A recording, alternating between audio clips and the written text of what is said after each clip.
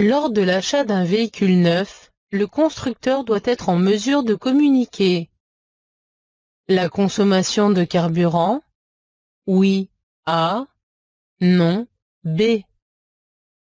Les émissions de gaz carbonique, CO2, oui, C, non, D.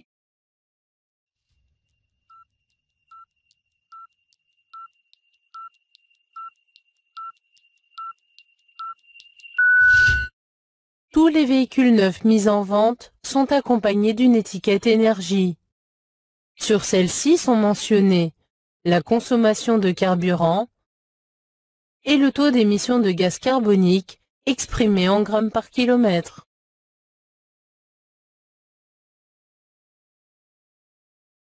Dans un long tunnel, les interdistances sont supérieures à 2 secondes.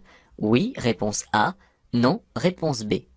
Les feux bleus aident à conserver une bonne interdistance. Oui, réponse C. Non, réponse D.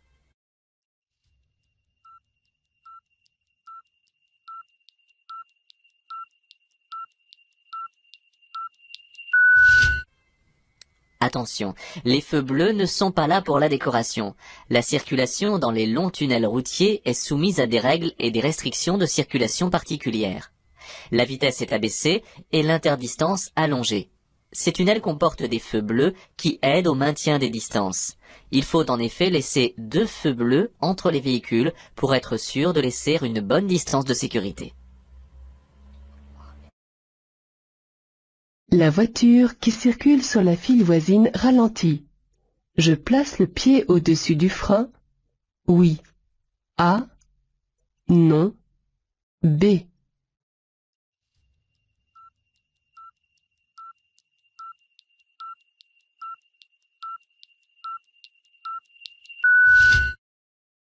La voiture qui circule sur la file voisine ralentit pour une raison que j'ignore.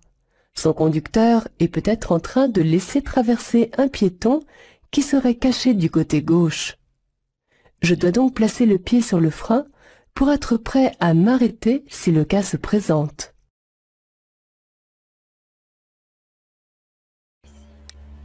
Juste après le panneau, je peux m'arrêter. Oui, réponse A. Non, réponse B. Stationner. Oui, réponse C. Non, réponse D.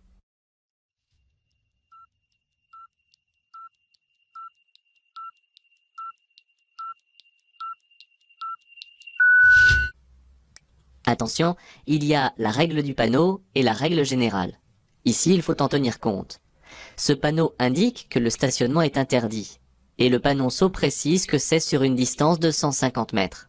Il n'interdit pas l'arrêt, mais le lieu m'empêche ici de m'arrêter en toute sécurité. Je suis en effet à proximité d'un virage, et m'arrêter ou stationner à cet endroit est très gênant, sinon dangereux. Je me prépare à effectuer un dépassement. J'allume le clignotant de suite. Oui, réponse A. Non, réponse B. Je me contente des informations données par ce rétroviseur. Oui, réponse C. Non, réponse D.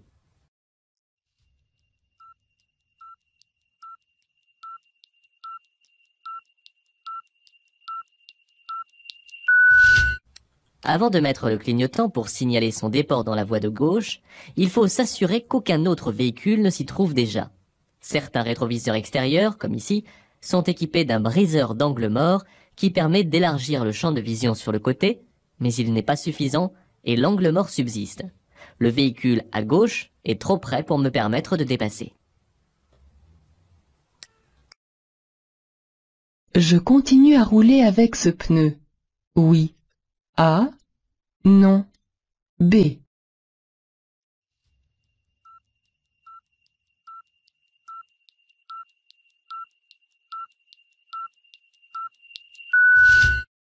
Les bosses à l'intérieur des sculptures sont les indicateurs d'usure.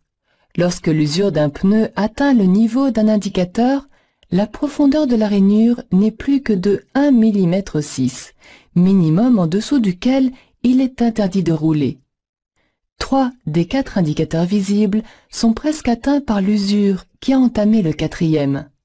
Il serait donc dangereux de continuer à rouler avec ce pneu. Je le change.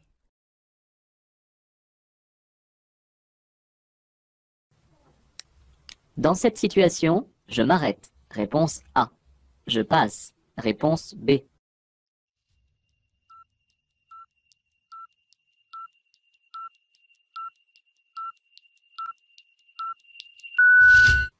J'aborde un passage piéton, et un piéton est largement engagé. Je dois lui céder le passage. Le conducteur du véhicule derrière moi ne sera pas surpris par mon arrêt si par anticipation je lui ai signalé mon intention à l'aide des feux stop. Pour assurer la fluidité du trafic, je peux stationner à cheval sur le trottoir. Oui, réponse A. Non, réponse B.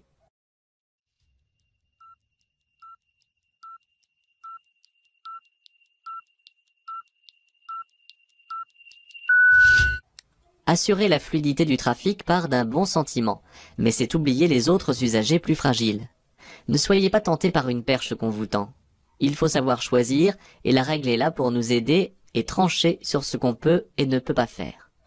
Le trottoir appartient aux piétons. Ici, un landau ne passe pas. Attention donc à l'intuition. Il est interdit d'utiliser le trottoir pour un arrêt ou un stationnement, sauf si un panneau l'y autorise. Tous ces véhicules sont en infraction. Dans cette situation, je fais un appel de feu. Oui, réponse A. Non, réponse B. Je peux klaxonner. Oui, réponse C. Non, réponse D.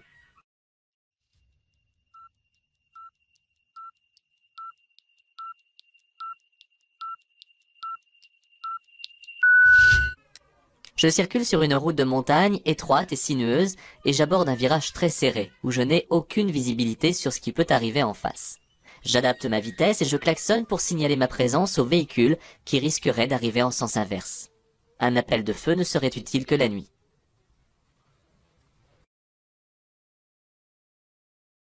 La signalisation interdit le dépassement du cycliste. Oui. A. Non. B.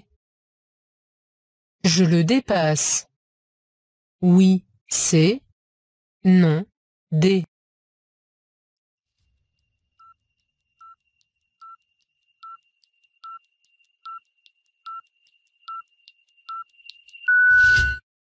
Le marquage au sol est à moitié effacé, mais pour dépasser un cycliste, je suis autorisé à chevaucher une ligne, même continue.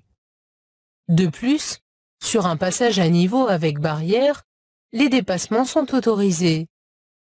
La signalisation n'interdit donc pas le dépassement du cycliste. Cependant, en passant sur les rails, il peut être déséquilibré et faire un écart. Enfin, la visibilité vers l'avant, masquée par le virage, est insuffisante pour entreprendre ce dépassement. Je reste donc derrière le cycliste. En France, le coût de l'insécurité routière s'élève à environ 8 milliards d'euros par an, A, 17 milliards d'euros par an, B, 33 milliards d'euros par an, C.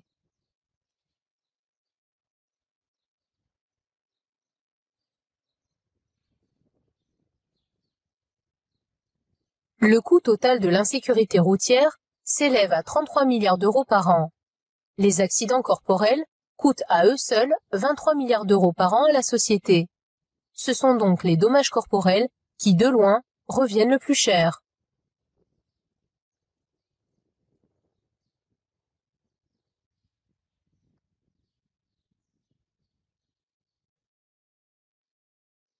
Je vérifie la pression des pneus de préférence.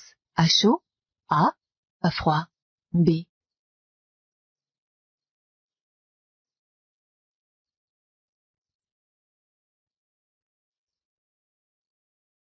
Lorsque l'on roule, la pression des pneus augmente légèrement. Pour cette raison, sa vérification et le gonflage des pneus se font de préférence à froid, c'est-à-dire quand le véhicule n'a pas roulé depuis au moins deux heures ou a parcouru moins de 3 km à allure réduite. Dans le cas d'un contrôle à chaud, il convient d'ajouter 0,3 bar à la pression conseillée. Je passe. A. Je m'arrête. B.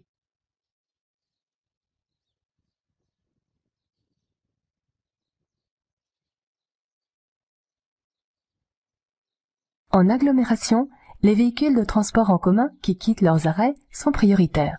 Je dois donc m'arrêter pour laisser passer l'autocar qui a signalé, en actionnant son clignotant, son intention de démarrer.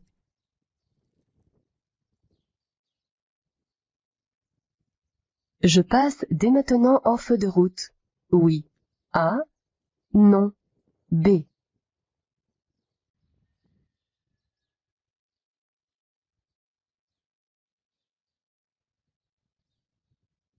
Si j'utilisais dès maintenant les feux de route pour dépasser ce véhicule, j'éblouirais le conducteur à cause de leur reflet dans ses rétroviseurs. Je les allumerais quand je serais à hauteur de sa voiture. Je pourrais ainsi voir plus loin sans éblouir.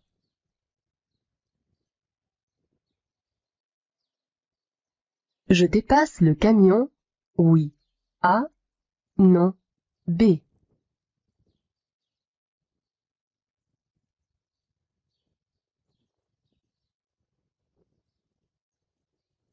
La ligne continue de gauche et le terre-plein central m'informe que je circule sur une chaussée à sens unique. Mais une voiture, visible dans les rétroviseurs intérieurs et extérieurs, occupe la voie de gauche pour me dépasser. Je ne dois donc pas entreprendre le dépassement du camion. Je pourrai le faire quand la voie sera libre.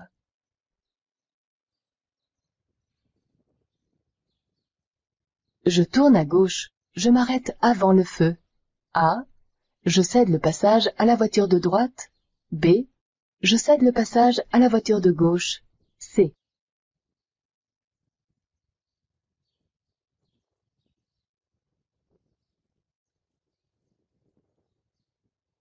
Le feu fonctionnant au jaune clignotant, je respecte les mêmes règles de priorité que s'il n'y avait pas de signaux tricolores.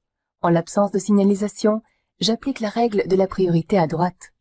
Je m'engage au-delà du feu et cède le passage à la voiture de droite. A contrario, la voiture de gauche doit me laisser passer.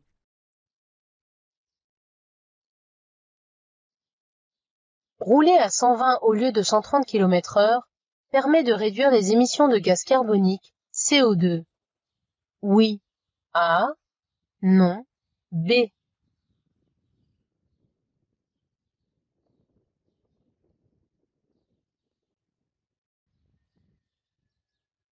Plus je roule vite, plus mon véhicule pollue l'atmosphère. Cette pollution augmente plus vite que la vitesse.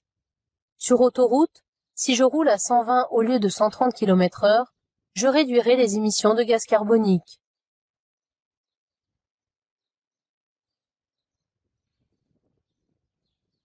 La signalisation lumineuse autorise la circulation sur la voie de gauche. En marche normale, oui. A. Non. B. Pour dépasser, oui. C. Non. D.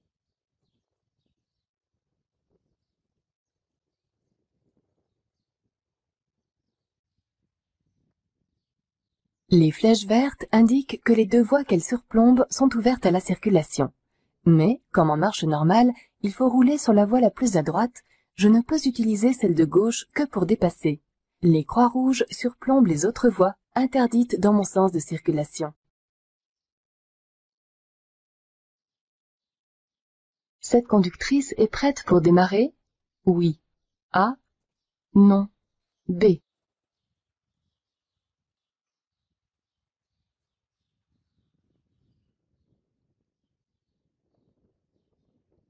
Cette conductrice a bien réglé sa position de conduite mais elle n'a pas attaché sa ceinture de sécurité. Elle n'est donc pas prête pour démarrer. La ceinture doit être bouclée avant de mettre le moteur en marche. Elle divise par trois le risque d'être tuée en cas de choc et réduit considérablement la gravité des blessures.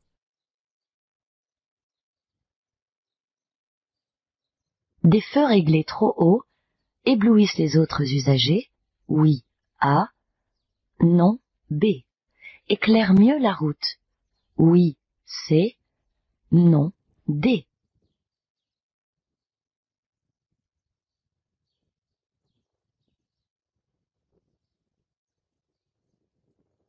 Je dois régler régulièrement la hauteur du faisceau de mes feux, notamment en fonction du chargement et du nombre de personnes transportées. Pour éclairer efficacement et sans éblouir, les feux ne doivent jamais être réglés trop bas ou trop haut. S'ils sont réglés trop haut, je risque d'éblouir les usagers qui arrivent en face avec mes seuls feux de croisement. De plus, ils éclaireront moins bien la route. Je devrais céder le passage au véhicule de gauche Oui. A Non. B. De droite Oui. C. Non. D.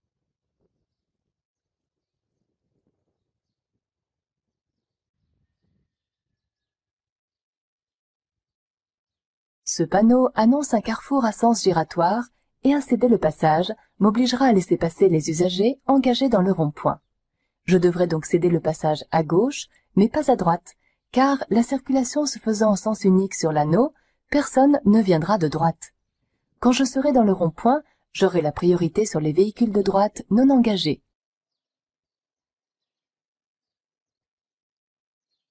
À 15 km, je trouverai une bifurcation d'autoroute. Oui. A. Non. B. Une jonction d'autoroute. Oui. C. Non. D.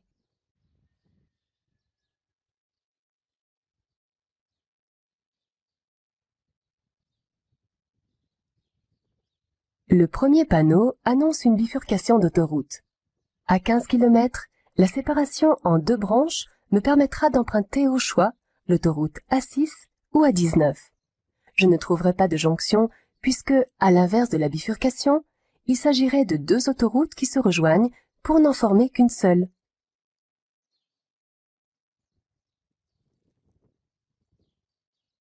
L'intervalle de sécurité devant moi est suffisant. Oui. A. Non. B. Je ralentis. C. Je fais clignoter les feux de stop. D.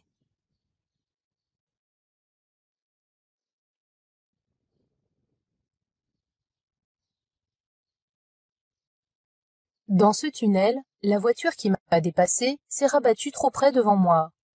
Je dois ralentir afin de maintenir l'intervalle de sécurité d'au moins deux diodes bleues entre nos deux véhicules. Je fais également clignoter les feux de stop pour avertir l'usager qui me suit de mon ralentissement.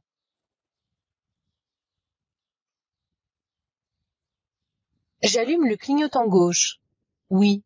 A. Non. B. Je me prépare à céder le passage à droite. Oui, C. Non, D.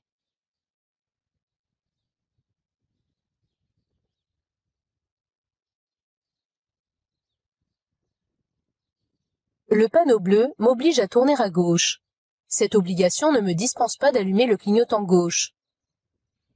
Abordant une intersection, sans signalisation spécifique, je devrais appliquer la règle de la priorité à droite. Je me prépare donc à céder le passage en abordant à vitesse réduite cet endroit sans visibilité et en plaçant mon pied au-dessus du frein pour être prêt à m'arrêter sur place.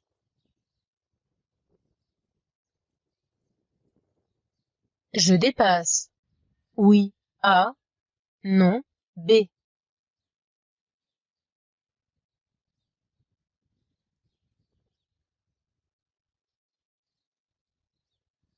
La fourgonnette freine pour tourner à droite. La voiture qui débouche de droite rencontre un cédé le passage. Comme j'ai la priorité, je suis autorisé à dépasser.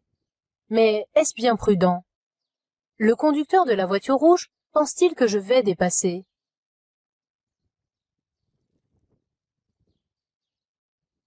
En cas d'accident de la circulation, pour appeler les secours, je compose de préférence le 15, A, le 18. B.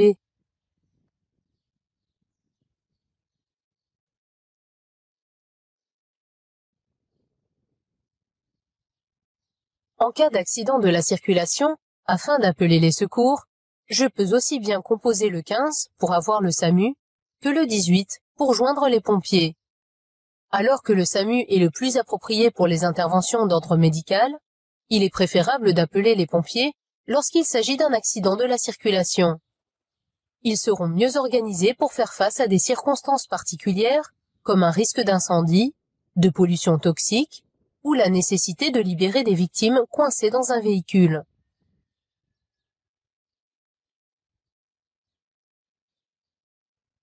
Pour la sécurité et les économies de carburant, il est préférable de rouler avec des pneus légèrement surgonflés A, légèrement sous-gonflés B.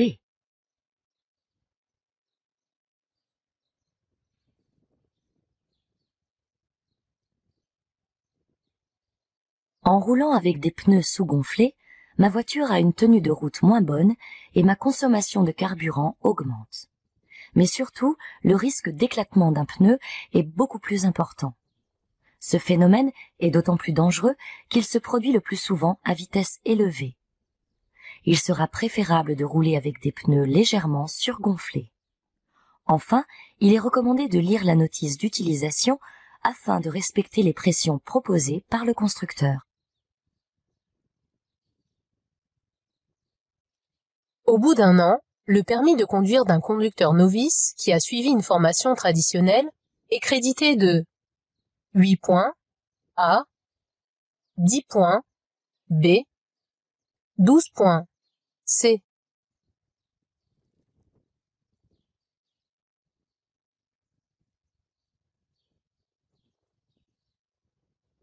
Au départ, le permis de conduire est crédité de 6 points.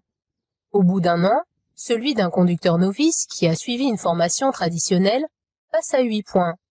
Pour cela, il ne doit pas avoir perdu de points suite à une infraction la première année.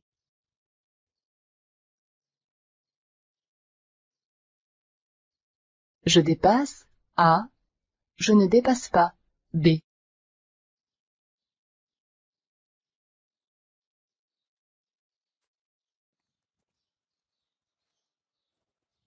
La signalisation horizontale ne m'interdit pas de dépasser puisque la ligne discontinue est de mon côté. Mais, dans cette situation, je ne suis pas certain de pouvoir me rabattre à droite sans danger. En effet, plusieurs véhicules se suivent et le camion bleu, qui masque la visibilité, en cache peut-être d'autres. Dans le doute, je dois m'abstenir de dépasser.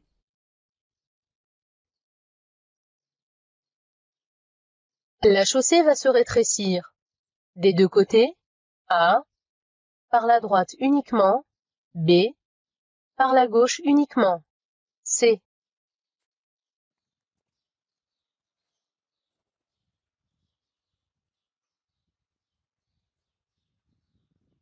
Ce panneau de danger annonce un rétrécissement de la chaussée par la droite uniquement. En comparaison, voici les autres signaux qui annoncent un rétrécissement de la chaussée.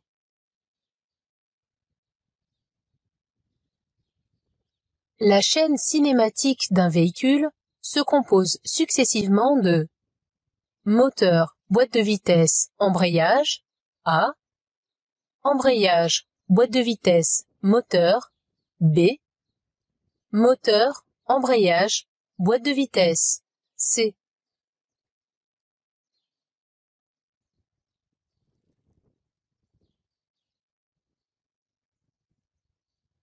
L'embrayage permet de séparer le moteur de la boîte de vitesse. La chaîne cinématique d'un véhicule va donc du moteur à la boîte de vitesse en passant par l'embrayage, ce qui donne moteur, embrayage, boîte de vitesse.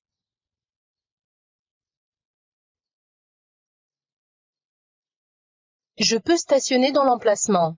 Numéro 1. Oui. A. Non. B. Numéro 2. Oui. C. Non. D.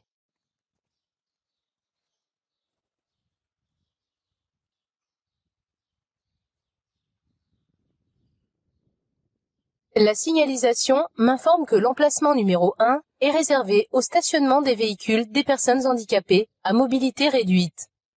Me garer à cet endroit serait faire preuve d'un manque de civisme. Je ne dois donc ni stationner, ni m'arrêter dans cet emplacement. L'emplacement numéro 2 est délimité par une ligne de couleur bleue, signifiant que le stationnement est en zone bleue. Il est gratuit, mais à durée limitée. Je peux y stationner à condition de mettre le disque.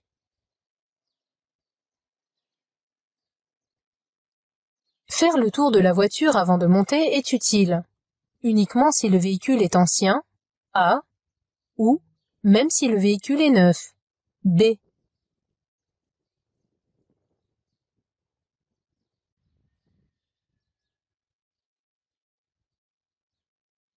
Faire le tour de la voiture avant de monter permet de vérifier s'il n'y a pas d'anomalie, notamment un pneu dégonflé.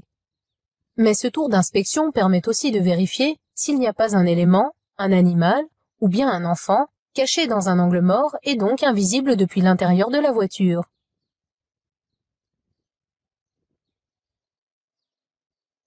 Il ne reste plus de points sur mon permis. Pour conduire à nouveau, je devrais passer un examen médical. A. Passer un examen psychotechnique. B.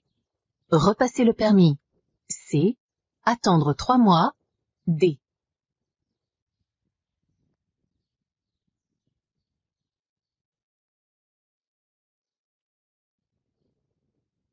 Un permis sur lequel il ne reste plus de points perd définitivement sa validité. Avec un capital de zéro point, je dois, si je veux conduire à nouveau, passer un examen médical, un examen psychotechnique et repasser les épreuves du permis. Pour conduire, je ne dois pas attendre trois mois, mais six mois. Ce délai est porté à un an lorsqu'un nouveau retrait de la totalité des points intervient dans un délai de cinq ans. J'utilise l'avertisseur sonore. Oui. A. Non. B.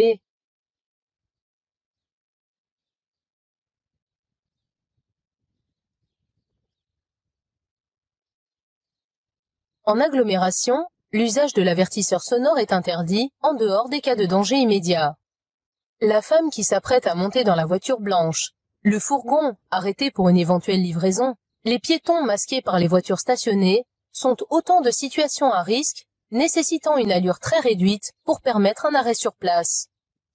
Mais ces risques sont prévisibles et il n'y a ici aucun danger immédiat pour justifier l'usage du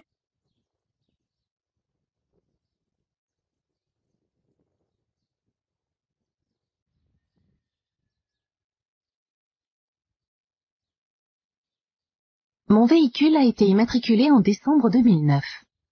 Je dois faire une demande pour une nouvelle plaque. Si je change de département? Oui. A? Non. B?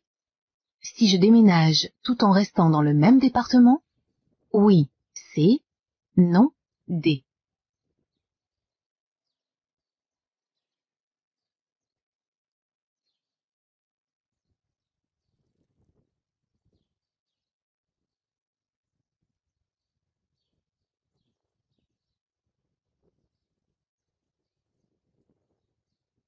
La vitesse est limitée à 30 km heure. Sur les passages pour piétons, oui, A, non, B. Après l'intersection, oui, C, non, D.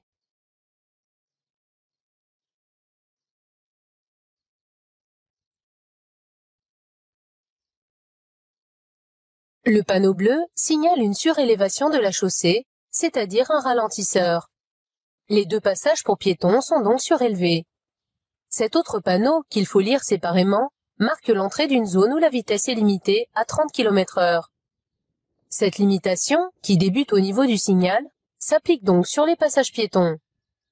Mais ce panneau concerne toute une zone, c'est-à-dire un quartier.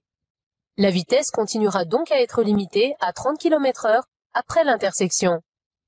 Cette limitation prendra fin à la rencontre de l'un de ces panneaux.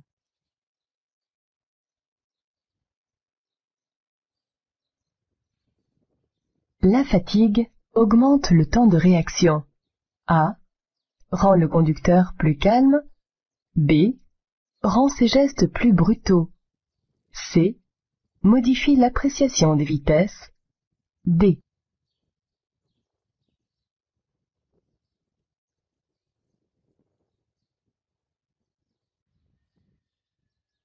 La fatigue augmente le temps de réaction, rend les gestes du conducteur plus brutaux et moins précis et modifie l'appréciation des vitesses.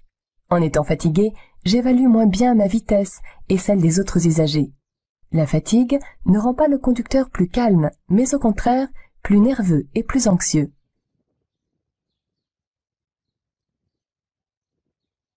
Pour dépasser ce cycliste, je m'écarte au minimum de 0,50 m.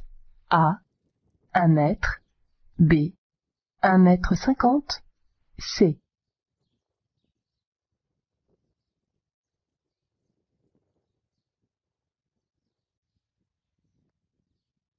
Les conducteurs de véhicules à deux roues sont particulièrement vulnérables en cas de choc. Moins stables que sur quatre roues, ils font souvent d'importants écarts de trajectoire. Pour ces raisons, je dois m'écarter au minimum d'un mètre en agglomération et d'un mètre cinquante en rase campagne pour les dépasser. Circulant en agglomération,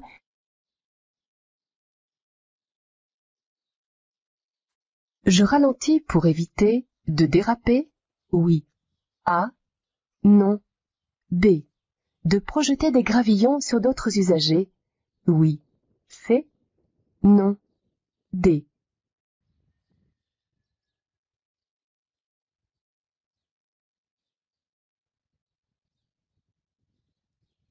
Le signal temporaire annonce une projection de gravillon à 150 mètres. Le risque de dérapage sera important. Je ralentis dès maintenant pour éviter de déraper et de projeter des gravillons sur d'autres usagers. En effet, les projections de gravillons sont provoquées par des vitesses trop élevées.